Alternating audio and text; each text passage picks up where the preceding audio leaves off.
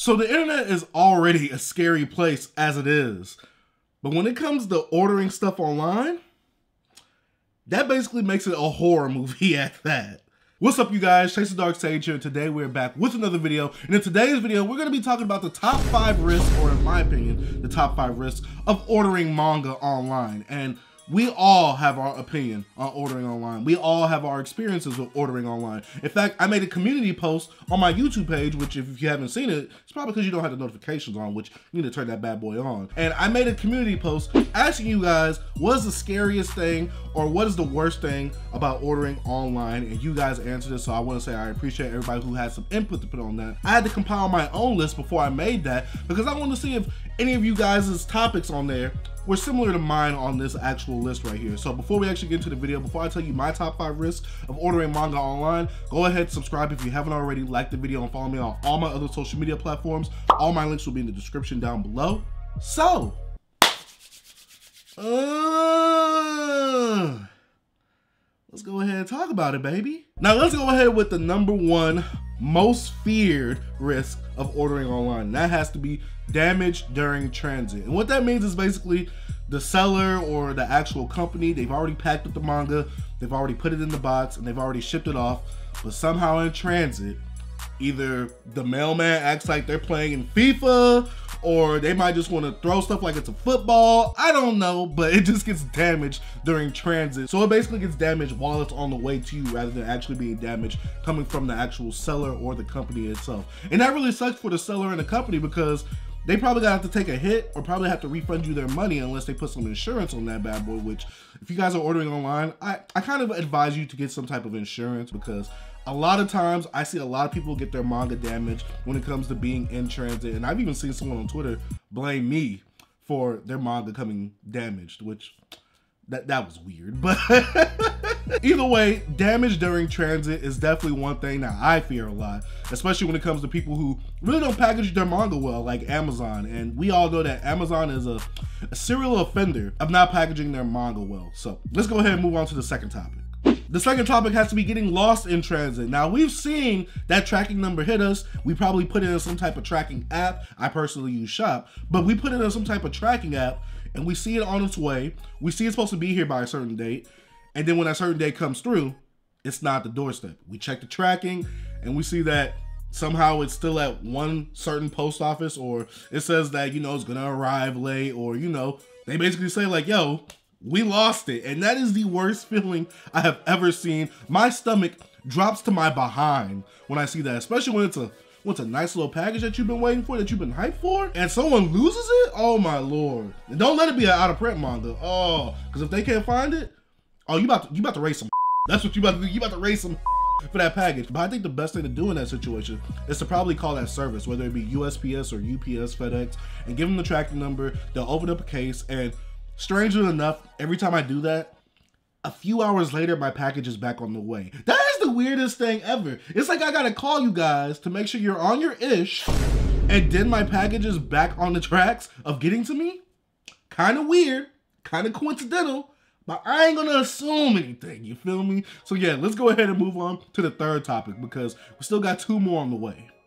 Third point has to be buying from sellers directly. And what I mean by that is like you go on our manga swap or you go on Discord or you go on Instagram, Twitter. You buy a manga literally from the person that's selling it. You don't go through a middleman service like eBay or Mercari where they're gonna hold the seller and you accountable for that package itself. No, no, no, no, no. You actually go to the seller, message them, and you buy it. Now, this could be a win-win situation because the seller can sometimes give a bigger discount since they don't have a middleman taking a fee from the actual profit. And sometimes they can give you a little bit of a bigger discount because they probably just have to take that PayPal fee. But if you're not careful, this is how you could get scammed. And the only way that you cannot get scammed in this way is to use PayPal and pay with goods and services. I repeat, use PayPal, pay with goods and services. That way, if someone tries to scam you, if your package doesn't arrive when it's supposed to arrive, you can open up a case on PayPal and they'll start messaging the seller and making sure that, you know, they're doing everything on their end. And if things actually come out the way that you've been saying to them, you'll get your money back and they'll probably keep that same package that they was already keeping from you in general. So yeah, let's go ahead and move on to the fourth topic. Now the fourth topic has to be buying used manga on Amazon.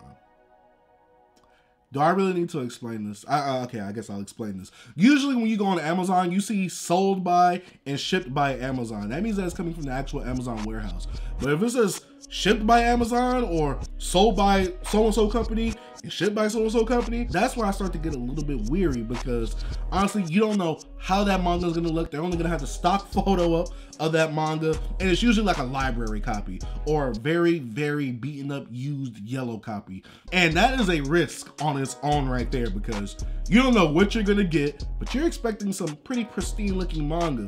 But sadly, a lot of times it's usually those out of print or really severely out of stock manga that you're going on Amazon to buy used and it can be a risk. I'm not gonna lie, it can be a risk. I bought in some used manga off of Amazon and it's turned out well for me. I've never really had a bad experience buying off of Amazon used manga, but I know a lot of people that have, and I've seen a lot of people buy some pretty beat up manga. That that manga looked like it's been in the ring with Floyd Mayweather. You feel what I'm saying? So I don't want to get any manga like that. I'm, I'm scared. I'm, I'm, I'm terrified of getting any manga like that. So I wouldn't advise buying manga used, but if you're really, really desperate to buy this manga that's out of print or severely out of stock and you can't wait, you can't find any better deals, I'd say try out buying the manga used on Amazon. But I'll say that if you don't like it, maybe you'll be able to return it. But then again, you didn't have a photo for reference to see how it looked before, so you can't really say, oh, this manga came damaged. And the seller be like, well, we already told you that was used. We didn't tell you how badly used it was. So no refund for you. You don't want a situation happening like that. So maybe you want to stay away from that. I don't know. You can take a risk doing that. Like I said, these are all risks online. And the last risk that I have on this list is actually buying stock photos put up by sellers, whether that be on eBay or Mercari. We've all seen the Funko Pop listings. We've all seen the figure listing. We've all seen manga listings of some seller putting up a manga or putting up some random item on eBay and it's just a picture from the actual website that sells it. Whether that be a Yu-Gi-Oh volume, whether that be a Cowa volume, which I will be opening up today because I want to show you guys what it's like to take a risk on actually buying something from stock photos. Shout out to my boy Beta for the link. But this is one of the biggest risks because just like Amazon, how they put up the stock photo, you don't know what you're getting with this. And you can't really go to the middleman saying like, yo, this wasn't what it was in the picture. And they was probably like, where's the reference photo so we can actually look at this? And you can't give them no reference photo because you literally just bought from a stock image. Are you dead ass, Ed Bowie? Yeah, that is probably one of the worst situations. And you're taking a big risk because you don't know what condition that manga is coming in. And in today's video, right now, I'm actually gonna show you what it's like to buy a stock photo listing on eBay. Now, I've been looking for Akira Toriyama's works recently because I want my whole top shelf right here to be all of Akira Toriyama's work.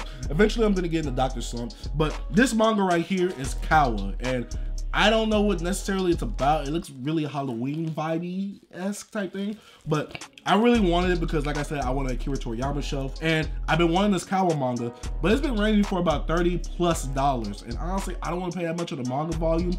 That's literally just a single, like a regular paperback volume right there. So my boy Beta knows I've been looking for it. He saw this listing up. We both were wary about it, but I still wanted to buy it and see what it was gonna offer me. If it's gonna be something trash, then honestly, I'm just gonna have to bite the bullet and pay that $30 to get a regular volume online, even though it's probably super old and probably yellowed by now. I still wanna see what this has to offer, and just looking from the actual packaging, I can't show you the front because my address is on it. It looks like it's coming from a library, so this is gonna be a library copy. It's probably gonna have some of the stickers on it, but sometimes when it comes to library copies, you can peel the stickers off easily. Sometimes, not all the time. Sometimes I've seen some people try to rip it off and they end up damaging the manga volume. I know scary. But today we're actually gonna open this and see what's actually inside because I'm very curious as to how this is gonna look. And you guys can judge for yourself whether you wanna try and buy a stock image and take that risk of buying online. So yeah, let's go ahead. I see that it is showing a Jump volume. It is yellowed, which I don't really have a big problem with because this is, like I said, an older manga that's probably been out on the shelf. Oh, I already see a library sticker on it. Oh, that looks nasty. But hopefully I can get a blow dryer and actually pull the sticker off and Right here, we have the Cowa manga. This actually does not look bad. Like I said, I paid $9 for this. Like I said before, the volume does go for about 30 plus on eBay. So right here, we have the manga volume, Cowa by Akira Toriyama. I really love Akira Toriyama's work. Here goes the sticker that I was talking about. I just hate that that little scratch out of the barcode right there. Like, why y'all doing that? And the manga volume is kind of dirty. It's a little bit dirty and it has some tape right here. Uh, uh, I'm kind of sad, but I'm not too too sad because hopefully this tape does come off easily. Like I said, I'm gonna get a blow dryer and I'm gonna see if I could actually melt some of the adhesive, make it weak, and actually pull some of these stickers off without damaging the volume. But either way, it's some yellowing, which I expect, but it's still not a bad volume. I've seen very, very, very worse volume conditions at like half price books. So to have this right here, I'm pretty happy for about $10. I'm getting what I paid for, so I can't be too mad, but uh, the stickers and stuff from the actual library, it just makes the volume feel filthy. Like I gotta I gotta put some hand sanitizer on my hands after touching this bad boy. But that's about it for today's video. Let me know what you thought about today's video. Let me know some of your risks. If you did not comment on the community post, let me know some of the risks that you've encountered or some of the risks that you think of when ordering manga online. Like to say thank you guys for watching. If you are new to the channel, you haven't already, go ahead, hit the subscribe button, post notification bell, like the video, and I gotta give a huge shout out to my Patreon pledges for going ahead and financially supporting the channel. Guys, I highly appreciate what you guys are doing for me, financially donating on Patreon. And I gotta give a huge shout out to the YouTube members for also financially donating on the YouTube side of things as well. Big shout out to Broke Boy Gang because I didn't want to go broke buying this Cowa right here.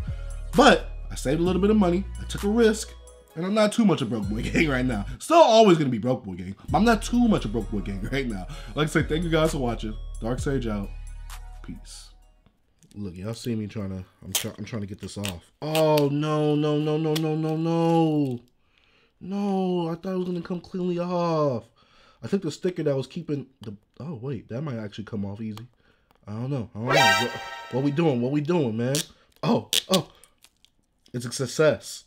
Whenever, whenever this, this adhesive comes off without ripping the volume apart, it's a success. Thank you guys for watching Dark Sage out. Now this one's going to be a real pain in the butt. Peace.